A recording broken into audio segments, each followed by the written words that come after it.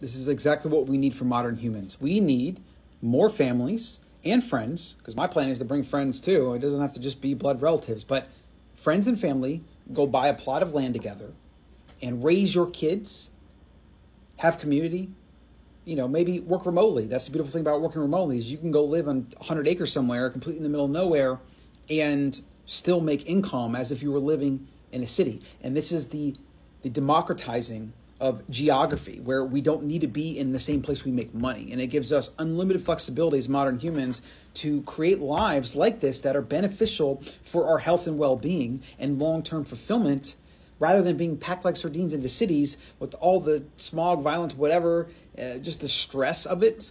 Look at this.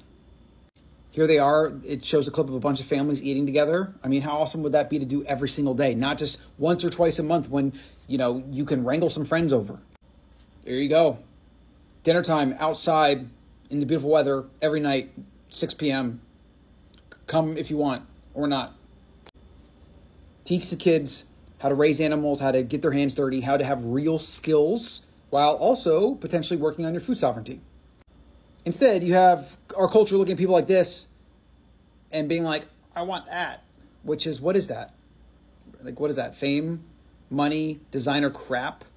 So you can what wake up every day and just yearn for more attention, fame, and crap, while probably whittling away the center of your soul a little bit each day until eventually you wake up one day and you're like, I have everything I'm supposed to want. Why am I miserable?